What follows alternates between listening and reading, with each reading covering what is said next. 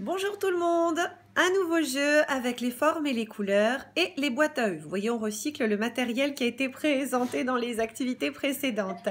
Donc aujourd'hui, j'ai une petite assistante qui va pouvoir m'aider à faire euh, les activités. Comme ça, c'est pratique. Je vais pouvoir mieux vous expliquer et tenir le téléphone.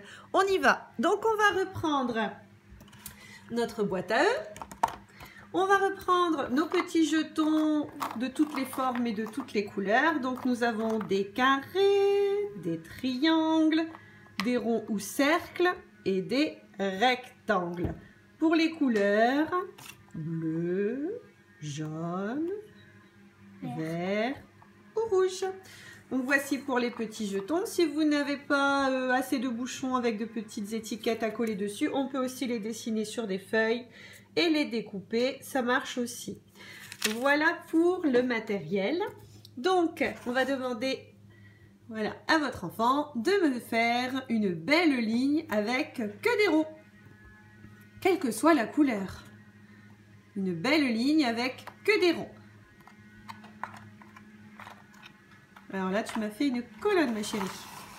Une ligne, voilà. La ligne, c'est horizontale, allongée. La colonne, c'est verticale, debout.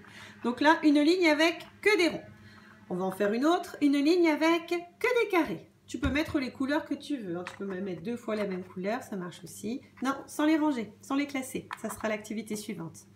Une ligne avec que des carrés. Voilà. Une ligne avec que des triangles.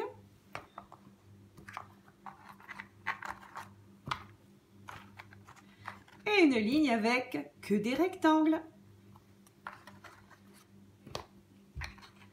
Voilà, donc là on a vu le principe justement de la classification horizontale. À chaque ligne, une famille.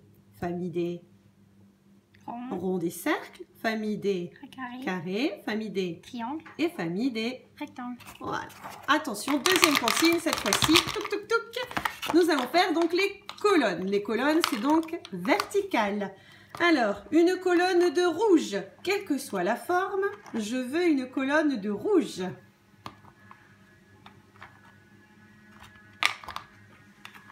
Ensuite, une colonne de jaune. Quelle que soit la forme. Une colonne de bleu.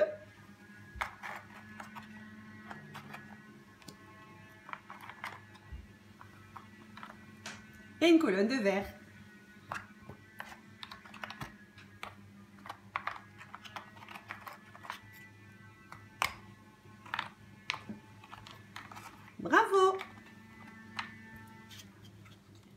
Alors ensuite, on va pouvoir utiliser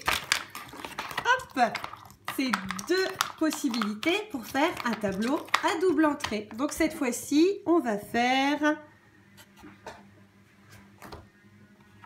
Donc cette fois-ci, on va faire les quatre formes en rouge. Donc un rond, un carré, un triangle et un rectangle en rouge.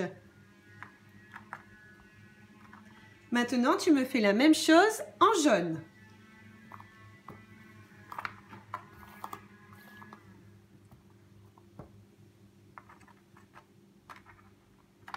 La même chose en bleu.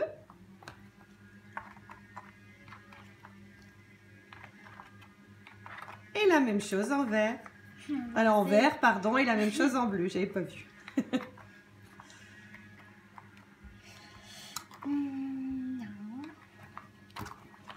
Voilà.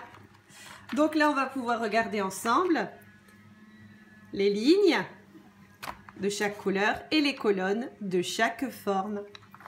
Voilà. Et il y aura d'autres activités aussi avec les boîtes à œufs et les bouchons. À bientôt Je crois que ma vidéo n'a pas fonctionné.